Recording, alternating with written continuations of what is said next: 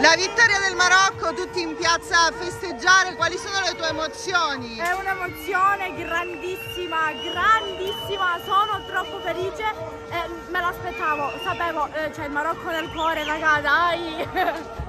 Vieri d'Italia è corso Umberto in festa, tutto uno sventolare di bandiere e suoni di clacson, molte le famiglie, le giovani e i giovani magrebini che insieme alle bambine e bambini si sono riversati sulle strade.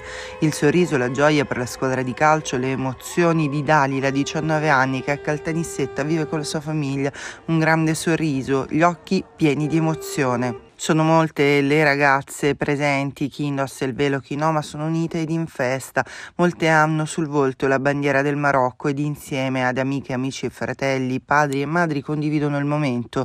Il più piccolo tra i bambini sulle scale della chiesa di Sant'Agata ci mostra fiero lo stemma della sua squadra del cuore mentre la sorellina indossa la bandiera sulle spalle come un mantello. La storia il Marocco la scrive anche così, non solo per i risultati calcistici, ma anche per quelli multiculturali, in una città dell'estremo sud come Caltanissetta, dove il percorso è ancora in salita ma è fatto di sorrisi e occhi pieni di gioia.